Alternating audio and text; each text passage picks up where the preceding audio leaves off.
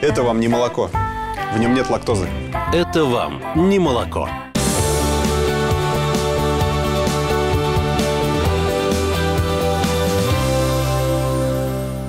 Для любого разнообразия, в данном случае кулинарного, видимо, зачастую просто не хватает слов. Иначе откуда бы нет-нет, да и возникали мидболы, панкейки, скрэмблы, тарты или маффины.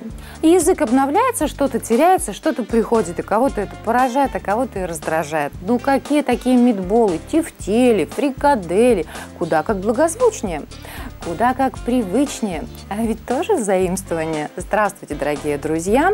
Вот сказалось и сразу же захотелось приготовить тефтели, фрикадели на будущей неделе, да? А сегодня приготовим маффины. Появление этого слова в нашем кулинарном обиходе вполне оправдано. Вроде бы кексы и кексы, и никаких маффинов. А нет. Кекс в переводе с английского – пирожное, сладкое кондитерское изделие, выпекаемое из бисквитного или реже дрожжевого теста. Часто кексы пекут из того же теста, что и торты. Для приготовления кексов масло растирают с сахаром, а потом добавляют яйца и остальные ингредиенты далее по рецепту. Маффины как бы тоже порционные кексы, но несколько важных отличий все же имеется. Во-первых, маффины не обязательно сладкая выпечка. Могут быть и с овощами, и с рыбой, и с грибами.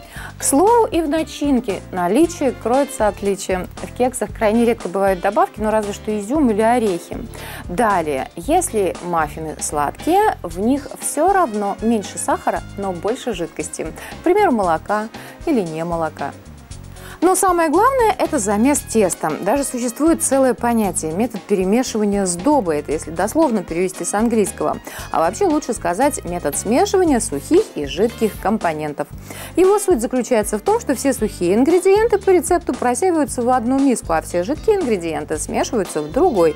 Затем жидкие добавляются в сухие. Тесто получается достаточно грубой структуры с комковатым мякишем и умеренно большими пузыриками воздуха. Именно такое тесто необходимо, его даже не нужно вымешивать до гладкости для того, чтобы маффины имели твердую корочку и очень мягкую нежную текстуру внутри. Далее достаточно выставить высокую температуру и посмотреть, что случится дальше с нашими не кексами. Маффины с малиной. Соединить размягченный банан, сахар, муку, разрыхлитель, овсяные хлопья и влить овсяный шоколадный напиток. Размешать, добавить ягоды, распределить тесто по формочкам, смазанным маслом.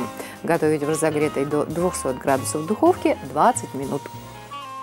И это прямое доказательство, почему маффины называют утренней едой. К тому же и замешивание теста – это минутное дело.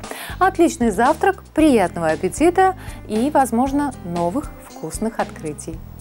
Когда хочется очень вкусного и полезного, на помощь приходит не молоко а овсяное шоколадное. Пейте с удовольствием на завтраке в течение дня. Добавляйте в мюсли или просто пейте, как горячий шоколад.